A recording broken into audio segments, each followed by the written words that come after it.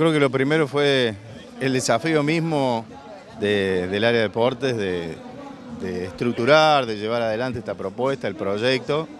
Creo que ante todo fue eso, un desafío de, diseñarlo, eh, bueno, establecer las categorías, las posibilidades, la, visión de ver qué categorías pueden estar participando.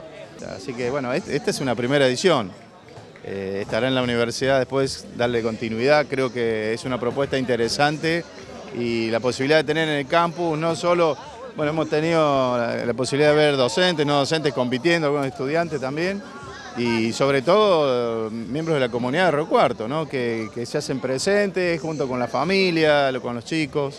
Y bueno, creo que es bueno eso, es bueno que se incorporen a la universidad en una actividad propia de la universidad, que la comunidad pueda estar presente.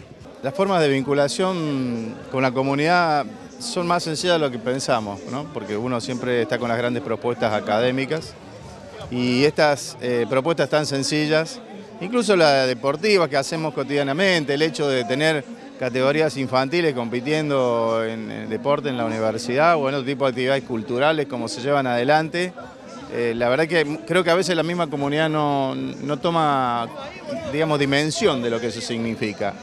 Rector, lo organizativo eh, que implica este evento, en ese aspecto la universidad está preparada para, para enfrentarlo, ¿tiene una fortaleza en la organización?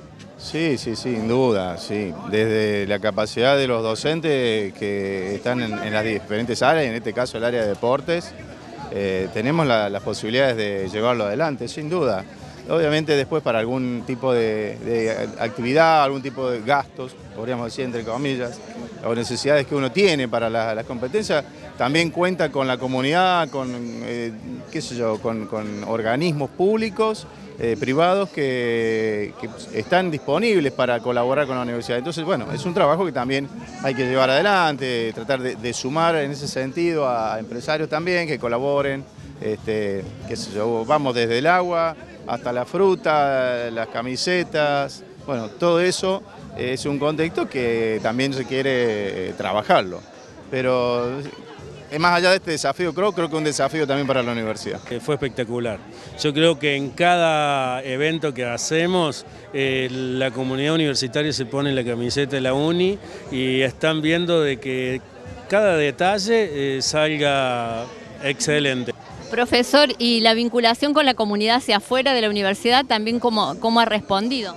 Eh, era el objetivo principal, ¿no? decir, eh, brindar un espacio de deporte en donde pudiéramos traer a la universidad eh, la gente de nuestra comunidad, de nuestra región, a través del, deporte. Era el objetivo que planteábamos desde la Dirección de Deporte y la Secretaría de Bienestar. Y que conozcan la universidad, que conozcan dos reservas que son hermosas. Eh, ahí me comentaban al finalizar la carrera, cada uno está muy contento con el circuito, no lo podemos modificar para el año que viene. No modifiquen el circuito porque está muy lindo.